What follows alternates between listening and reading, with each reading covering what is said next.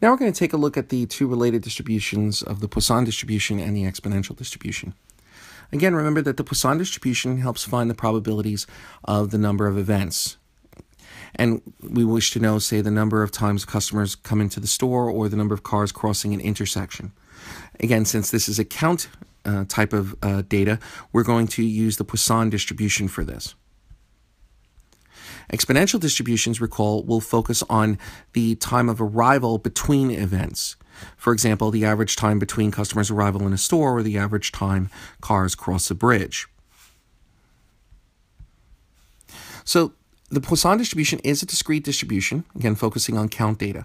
And the counts are, in this case, let's say a number of customers entering a store. We have this on the right. So we have nine weeks of uh, data, uh, or 63 observations. Uh, only two weeks are actually shown on the right. And what we've done is we've calculated the mean of the 63 observations as being 5.301. If we use the Excel function poisson.dist, with, with k being the number of events and mean being the average for the data set, and again, true, providing the cumulative probability, false if we wanted an exact probability of k events, we would get the following. If we wanted to ask the probability of less than or equal to four customers, we do poisson.dist 4, comma 5.301 and true. And this will tell us that it is 0.3893 or a 38 or 39% chance of getting less than or equal to four customers.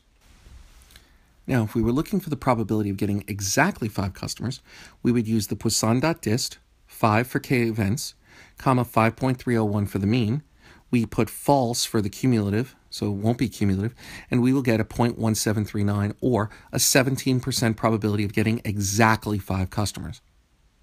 If we're looking for probability of greater than six customers, then what we do is we are going to first look for the distribution, the Poisson distribution of getting six customers or less. So that would be the Poisson dist 6, comma 5.301, and then true. Now, that will give us 6 or less. So what we want is, since we want greater than 6, we will do 1 minus that, and that'll give us 0.2839. If we were looking for the probability of between 4 and 6 customers, what we'll need to do is we'll need to find the probability of getting 6 customers or less, which is what we had done before, and that gave us 0.716. And then we need to get the probability of getting less than or equal to 3 because uh, we we wouldn't do the Poisson dist with 4 because that would give us 4 or less. We want to include 4 in that. So we're going to drop that by 1 and look for the probability of getting less than or equal to 3. And therefore, we use Poisson dist 3, 5.301 as the mean, comma true. That gives us 0.225. When we subtract the 2, we will end up with 0.491 or 49.1% probability of getting between 4 and 6 customers.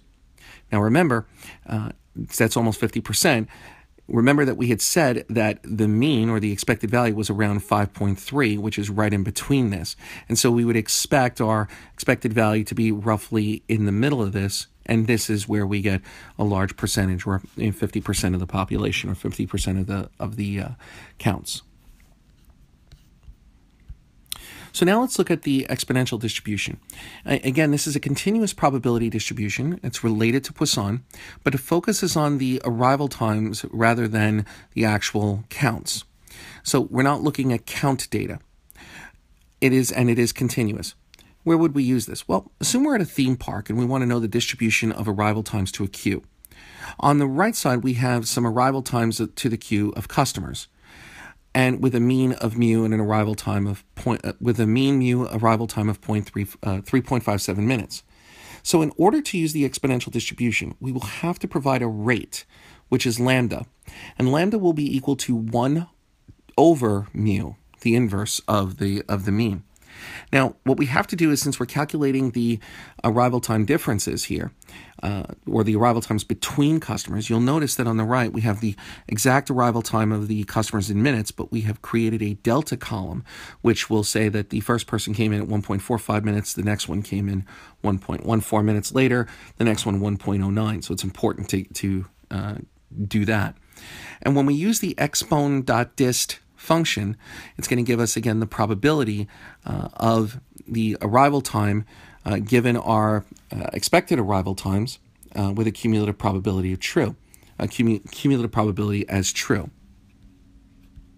Taking this example a little bit further, we can see that if we are, again, using that same set of data with 100 observations, we have our mean of 3.57. We calculate our rate as 1 over the mean, which is 0.28. Our probability of arrival time being less than or equal to 2.5 minutes would be expon.dist 2.5, comma, and then we put in our rate, which is 0.28, and we do true for our cumulative probability, and that will give us a 0.504 result. The probability of exactly 3.1 minutes is going to be a little bit different because it's the going to give us uh, again exponent dot dist 3.1 comma 0.28 for the rate and then we put in false and there is a you know, 13% chance that we're going to have exactly 3.1 minutes. So if we have the probability of greater than 4.9 minutes, again, we're going to have to do that trick where we did 1 minus, in this case, 1 minus the exponential distribution, 4.9 0.28 is the rate, again, true for the cumulative probability, and we will obtain a value of 0.253. So 25.3% probability of being greater than 4.9 minutes. And again, if we wanted to do something in between, the probability of, say, over 1.7 minutes but less than or equal to 4.2 minutes, we will use the functions expon.dist 4.2 comma 0.28 comma true for the cumulative distribution of the arrival time of 4.2 and everything less, minus the exponential distribution of 1.7 minutes, comma 0.28 rate, comma the cumulative distribution true, true. So it will subtract those two and give us a 0.312 or 31.2% probability of being between 1.7 minutes or greater than 1.7 minutes, but less than or equal to 4.2 minutes.